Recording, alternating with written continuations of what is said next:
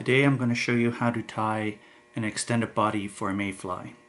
For this you will need a poly dubbin or a very fine dubbing that uh, has long fibers. I used Fly-Rite poly dubbin for this example and uh, this is what I was using when I started tying this back in the early 90s.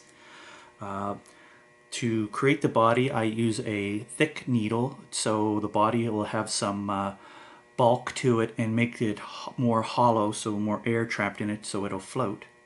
The uh, I use Solarez Flex uh, glue or UV resin to uh, to bind or to secure the the body and uh, it has to be flexible. Before the UV came out, uh, I used to use Dave's Flexament, which works really, really well, as I've tied thousands of these for commercially for fly shops.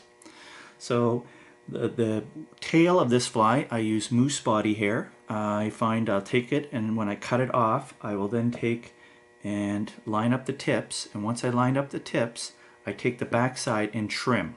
And what that does is that lines the back up so if it moves it's easier to line it up by pushing the back and adjusting than it is trying to find which tip is what. So first what I do is I put a little bit of glue on the on the darning needle. I then take your Fly-Rite poly dubbin and just lay it against the uh, the needle and it'll start to wrap itself. This is very easy when using the Norvise because uh, the full rotary makes it very quick. Before this I used to use a pin vise in my hand and uh, with the needle in it and it was a little bit longer or whatever but this works really well. So I've laid the the tail fibers uh, on top with the poly over and then as I spin it will tighten down and and lash them to the needle. Now to make this fly very strong you slowly move the fibers of the poly back and forth in a weaving action.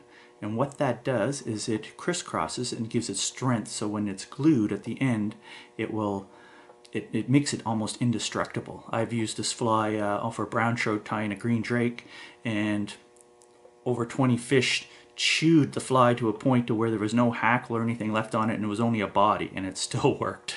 So again, just uh, work the dub, uh, the poly back and forth over it until it covers the needle. You can look through and see the needle and any of the shiny spots so you can know if it might need a little bit more. I'm just going to add a little bit more here. You don't want it too thick because I use they punch the hook through the body when I when I secure it and it's kind of hard and you don't need the bulk. You'll realize when tying this fly you don't need it this big. Now uh, you can use the same process to make caddisfly bodies, stonefly bodies, any type of body you want. And like I say, the great thing is when you're done, it's hollow, flexible, and strong. And I've been like tying these since, like I say, the early 90s. So basically, I've just put the poly on, went down and back. You can push the, the, the, the back part of it, or I should say the closest to the, the head of the fly would be backwards a little bit and let them wind over. If there's any polys that are going over the tail, vice versa, push it forward. And then once that's done, add a little bit more UV, not too much.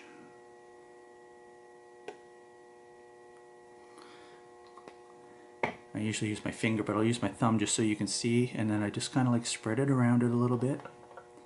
Put the two together, and kind of rub it in there. Make sure you get the end by that where the tail is coming out because it tends to be missed sometimes. There. Now we just shoot a little UV on it.